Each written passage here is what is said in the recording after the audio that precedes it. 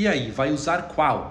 Na verdade, quando a gente precisa usar um colírio lubrificante, existem algumas marcas que são muito indicadas, né? Principalmente aquelas marcas de colírio sem conservantes. Hoje eu vou falar o nome alguma aqui de vocês, mas não tem nenhum conflito de interesse, tá bom?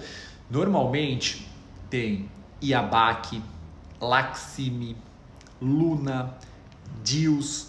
São colírios que são sem conservantes, que fazem muito bem para os olhos.